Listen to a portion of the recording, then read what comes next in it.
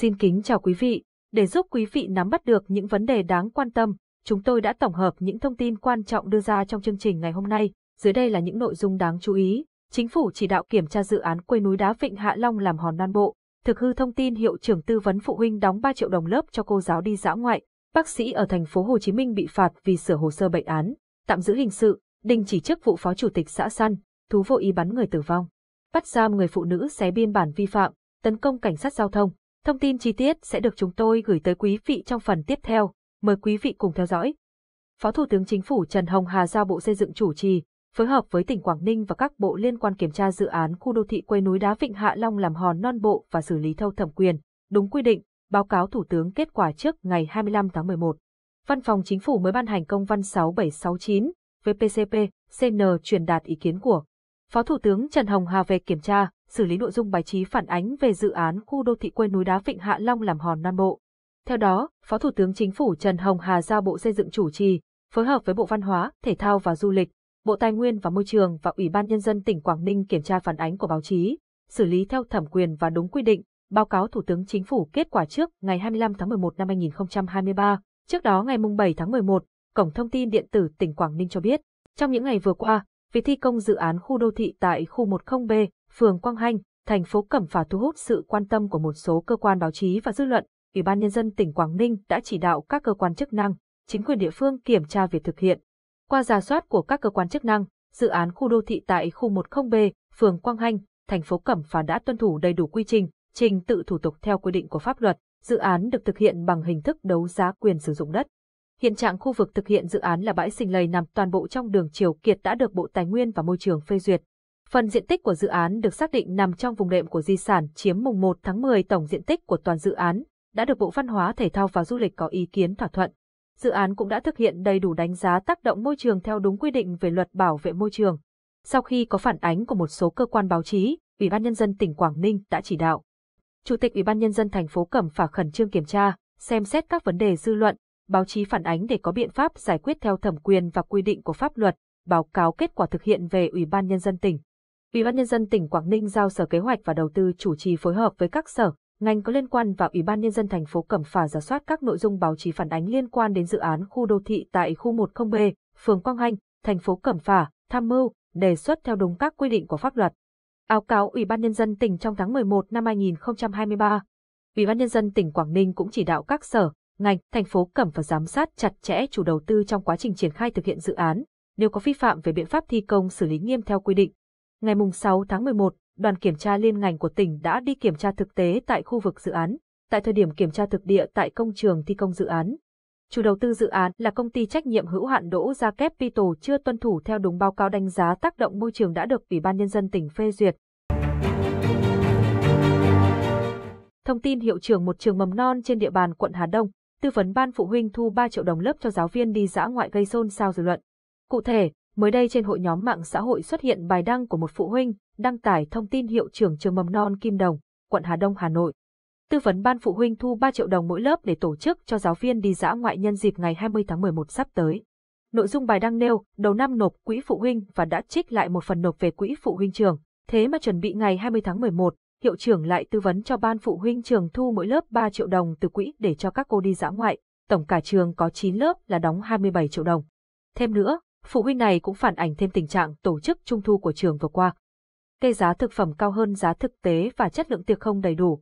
Trường tổ chức tiệc tự chọn với chi phí 20 triệu đồng cho gần 300 học sinh nhưng chỉ được phát cho một rổ xúc xích, cánh gà, một khay hoa quả thái nhỏ và một khay bánh ngọt. Nếu đếm số lượng trẻ thì mỗi cháu ăn một cái là hết, bài đăng nêu. Trả lời phóng viên về vụ việc trên, chiều mùng 8 tháng 11 hiệu trưởng trường mầm non Kim Đồng Đinh Thị Thanh cho biết thông tin trên mạng xã hội về việc trường thu 3 triệu trên lớp. Để tổ chức giã ngoại cho thầy cô là không có thật. Lý giải thêm thông tin tổ chức tiệc trung thu theo phản ánh mạng xã hội, cô Thanh cho biết, trước khi tổ chức, Hội Phụ huynh học sinh đã xin ý kiến nhà trường. Trường cũng đã tổ chức họp ban đại diện cha mẹ học sinh nhà trường và ban phụ huynh các lớp để bàn bạc về vấn đề này. Sau đó ban đại diện phụ huynh thông tin đến toàn thể phụ huynh trong lớp của mình và tất cả đều đồng thuận tổ chức. Chính vì thế, nhà trường đã phối hợp với hội phụ huynh tổ chức trung thu cho các con. Ban giám hiệu nhà trường và các cô giáo phối hợp cùng tổ chức, còn lại các đầu việc như mua sắm mâm ngũ quả, múa sư tử, văn nghệ, tiệc tự chọn, do hội phụ huynh học sinh đứng lên thực hiện. Bà Thanh chia sẻ thêm tất cả các nguồn thực phẩm do hội phụ huynh mua, nhà trường chỉ giám sát và phối hợp tổ chức chương trình. Mới đây, Thanh tra Sở Y tế thành phố Hồ Chí Minh vừa công bố quyết định xử phạt một bác sĩ có hành vi tẩy xóa, sửa chữa hồ sơ bệnh án nhằm làm sai lệch thông tin về khám chữa bệnh. Thanh tra Sở Y tế thành phố Hồ Chí Minh vừa công bố danh sách xử phạt một số cơ sở, cá nhân vi phạm trong lĩnh vực khám chữa bệnh trên địa bàn. Các quyết định được ban hành ngày 1 và mùng 2 tháng 11. Cụ thể, công ty trách nhiệm hữu hạn Cang Nam Career, phòng khám chuyên khoa thẩm mỹ tại 394 đến 396 Cao Thắng, quận 10 bị phạt 12 triệu đồng. Cơ sở này vi phạm các nội dung như người hành nghề không đăng ký hành nghề khám chữa bệnh theo quy định của pháp luật, niêm yết không đầy đủ giá dịch vụ khám chữa bệnh. Cũng tại địa chỉ 394 đến 396 Cao Thắng, bác sĩ Hoàng Xuân Lý, cây mê hồi sức, chuyên khoa thẩm mỹ đã tẩy xóa, sửa chữa hồ sơ bệnh án nhằm làm sai lệch thông tin về khám chữa bệnh. Bác sĩ này bị phạt 5 triệu đồng và tước quyền sử dụng chứng chỉ hành nghề khám chữa bệnh trong một tháng. Điều dưỡng Phùng Thị Quý bị phạt 1 triệu đồng vì lập hồ sơ, bệnh án nhưng không ghi rõ đầy đủ các mục theo quy định. Thanh tra Sở Y tế cũng tước quyền sử dụng chứng chỉ hành nghề khám chữa bệnh của điều dưỡng này trong một tháng. Bác sĩ chuyên khoa da liễu Phạm Ngọc Huệ, chủ hộ kinh doanh phòng khám da liễu Minh Phương tại số 280 Chu Văn An, quận Bình Thạnh bị phạt 4 triệu đồng. Nội dung vi phạm gồm lập hồ sơ bệnh án nhưng không ghi rõ, đầy đủ các mục theo quy định, niêm yết không đầy đủ giá dịch vụ khám chữa bệnh. Bác sĩ này bị tước quyền sử dụng chứng chỉ hành nghề khám chữa bệnh trong 2 tháng. Ngoài ra, Thanh tra Sở Y tế cũng ra quyết định xử phạt 45 triệu đồng với Trần Thị Thùy Linh, chủ hộ kinh doanh tại số 84C Trần Quốc Toàn quận 3. Cơ sở này bị đình chỉ hoạt động khám chữa bệnh cho đến khi đầy đủ hồ pháp lý liên quan.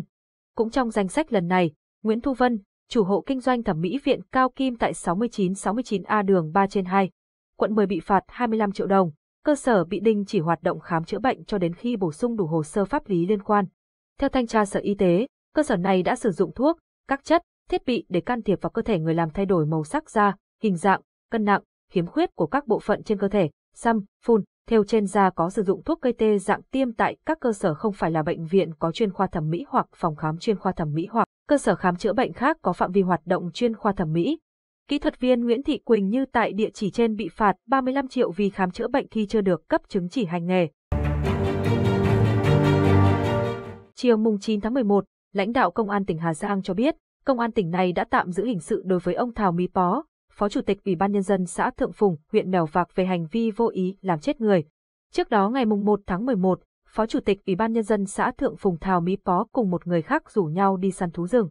Đến khoảng 22 giờ cùng ngày, khi đi đến thôn Mỏ Phàng, xã Thượng Phùng, thấy có ánh sáng lập lòe trong bụi cây, ông Thảo Mỹ Pó nghĩ có thú rừng nên đã dùng súng thể thao, bắn một phát súng về phía bụi cây. Phát súng của ông Thảo Mỹ Pó đã bắn trúng một người đàn ông, khiến người này tử vong. Liên quan tới vụ việc, ngày 7 tháng 11, Chủ tịch huyện Mèo Vạc, Hà Giang đã ra quyết định tạm đình chỉ chức vụ đối với ông Thảo Mỹ Pó. Lý do tạm đình chỉ phó chủ tịch Ủy ban nhân dân xã Thượng Phùng Thảo Mỹ Pó là để phục vụ công tác điều tra về hành vi nêu trên. Ngày 8 tháng 11, cơ quan cảnh sát điều tra công an Hát Đao Hà, Con Tum đã tạm giam Đồng Thị Hồng, sinh năm 1985, ngụ Ti Ti Đa Hà, Hát Đa Hà về tội chống người thi hành công vụ. Trước đó ngày 18 tháng 9 năm 2023, tổ cảnh sát giao thông lập biên bản về lỗi vi phạm đối với ông L, T, A, T, sinh năm 1986, ngụ phường Quyết Thắng, thành phố Con Tum, tỉnh Con Tum, là bạn của Hồng. Tuy nhiên, Đồng Thị Hồng đã có hành vi giật xé biên bản xử phạt vi phạm hành chính trên. Ngoài ra, bà Hồng còn có những lời nói thô tục xúc phạm lực lượng đang làm nhiệm vụ, dùng chân đạp vào cán bộ cảnh sát giao thông, hắt rơi điện thoại của người đang thực hiện nhiệm vụ. Sau thời gian xác minh, cơ quan cảnh sát điều tra công an huyện Đa Hà đã ra quyết định khởi tố vụ án hình sự, bắt tạm giam đối với bà Đồng Thị Hồng. Thông tin vừa rồi đã khép lại bản tin ngày hôm nay của chúng tôi. Quý vị đừng quên theo dõi và đồng hành cùng chúng tôi để cập nhật những thông tin mới nhất. Xin chào và hẹn gặp lại.